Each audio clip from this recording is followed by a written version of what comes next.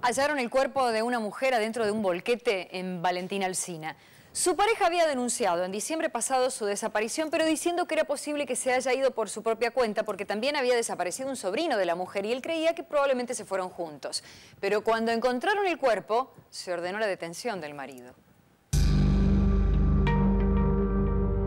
Después de 23 días, el cuerpo de la mujer apareció en un container en este centro de reciclado, a 150 metros de la vivienda de la familia, en donde además trabaja su esposo, Juan Carlos Rodríguez, quien desde que llegó la policía en horas de ayer, en todo momento negó el hecho. Incluso cuando encontraron el cuerpo, quien primero lo encuentra es él, y dice se trata de un animal muerto, cuando en realidad el cuerpo de su propia esposa. Revisaron todo, o sea, las piezas que hay y no, estábamos ahí con mi cuñada eh, mirando lo que hacía la policía y pasamos por el volquete y sentimos olor, que él decía que era olor a eh, cebo, olor feo del cebo. Y no, yo agarré y dije, no, eso no es olor a cebo, eso es olor a, un animal muerto, a una persona. Y ahí fue cuando la policía dijo, hay que vaciar el, el volquete y bueno, estaba ahí. Desde que Vilma desaparece, ¿ustedes siempre sospecharon de él? Sí.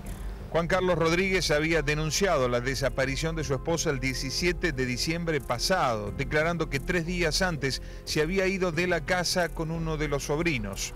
Los investigadores sospechan que en realidad él también podría haber sido asesinado. Eh, lo que él aducía era que la mujer era alcohólica y se había ido con el sobrino, que también era alcohólico, y que no era natural que se fueran de la casa en virtud de que solían vivir en la casa.